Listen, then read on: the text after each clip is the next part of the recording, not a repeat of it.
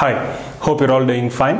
In this video, we'll be discussing a few topics related to oral medicine and oral pathology part 1. So you can find the same questions in surprise test number 21 and also I've shared uh, these MCQs, this set of 5 MCQs in Google group, right?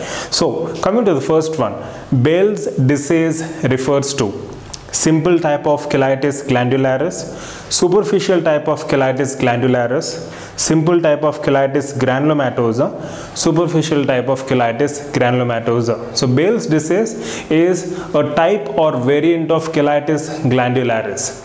Cheilitis glandularis is also called as actinic cheilitis. So in cheilitis glandularis we have three forms or three variants.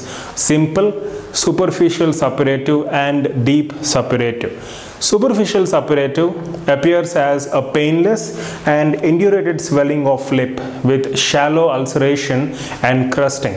This is called as Baelz disease. And as I said, we have three variants, simple, superficial and deep. Superficial and deep are highly associated with dysplasias as well as carcinomas, right? So this is in brief regarding Baelz disease and cheilitis glandularis. And cheilitis glandularis is nothing but a poorly understood inflammatory condition of lip.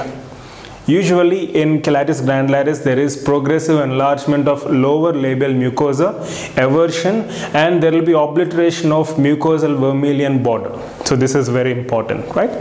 So Baelz disease refers to it's a superficial suppurative type of cheilitis glandularis. I hope it's clear. Now coming to the next question. Round cell sarcoma is Ewing sarcoma, chondrosarcoma, osteosarcoma, Kaposi's sarcoma.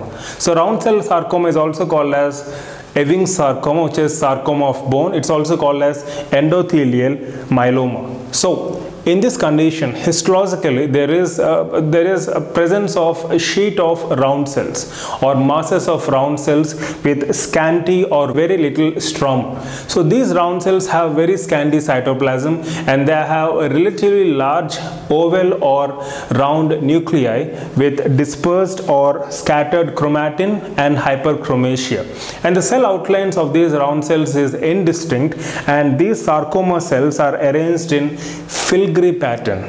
Filigree is nothing but wires of gold and silver which are interwoven to have a lace-like appearance. Filigree pattern. So filigree pattern is seen in case of round cell sarcoma. So round cell sarcoma is nothing but Ewing sarcoma which is a sarcoma of bone. I hope it's clear. Now moving on to the next question. The treatment of odontoma is wait and watch, surgical removal, controversial, none. So odontoma, it's a tumor of odontogenic origin. Based on its anatomic resemblance to natural tooth, we have compound and complex odontomas respectively. In compound, there is resemblance. In complex, there is no such distinction or resemblance to that of natural teeth, like enamel or dentin-like structures. So this odontoma, the best advised treatment is surgical removal and there is no chance of recurrence, right? So surgical removal is more appropriate. Now moving on to the next question. The most common site of pyogenic granuloma is lips, tongue, buccal mucosa, none of the above. In fact, pyogenic granuloma or granuloma pyogenicum can be seen on lips, tongue and buccal mucosa, but the most common site intraorally is gingiva. It accounts for more than 75% of all cases right? So the most common site of pyogenic granuloma in oral cavity is gingiva.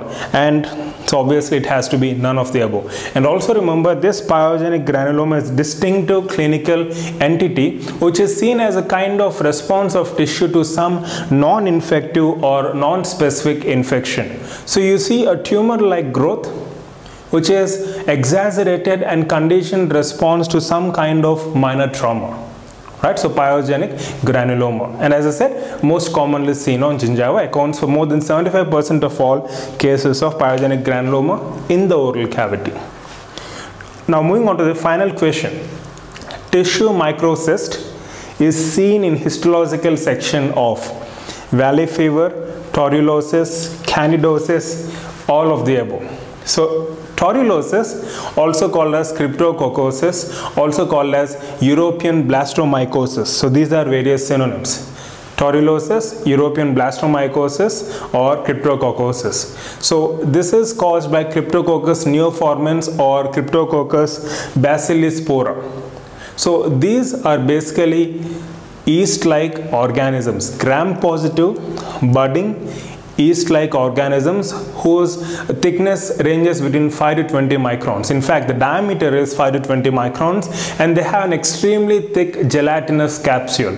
And this capsule can be stained intensely using PAS stain, periodic acid Schiff stain. And these microorganisms can be grown on Sabouraud's glucose agar medium. And histologically based on the equation histologically these cells appear to be small surrounded by clear halo giving an appearance of a tissue microcyst so tissue microcyst is seen in histologic section of torulosis also called as European blastomycosis or cryptococcosis caused by Cryptococcus neoformans or cryptoco and Cryptococcus bacillispora right i hope it's clear so these are some of the topics which i wanted to highlight in this particular video to summarize all that we have discussed so far Baelz disease refers to a variant of cheilitis glandularis, a superficial suppurative type, right? And it has high uh, association with dysplasias or carcinomas, right? And coming to round cell sarcoma, also called as Ewing sarcoma, where you find histologically round cells with scanty cytoplasm and you'll see a relatively large oval or round nuclei with dispersed chromatin and hyperchromasia. And the cell outlines are irregular or indistinct and they exhibit this filigree pattern. The sarcoma cells exhibit filigree pattern. Fine. And then we have discussed the treatment of odontoma which is obviously surgical removal. And the most common site of occurrence of pyogenic granuloma in oral cavity based on the options you have lips tongue and buccal mucosa so obviously we're dealing with oral cavity so it's none so gingiva accounts for more than 75% of all cases and finally we have discussed about tissue microcyst Tissue microcyst like appearance is seen in histologic section of torulosis or European blastomycosis or cryptococcosis. The description of the organism is very important. As I said, it's gram positive, budding, yeast-like microorganism which has a very thick extremely thick gelatinous capsule. And also it can be stained. In fact the capsule can be stained with PAS stain and it can be grown on Sabouraud's dextrose agar and histologically it appears as a small organism covered by a clear halo giving an appearance of tissue microcyst I hope it's clear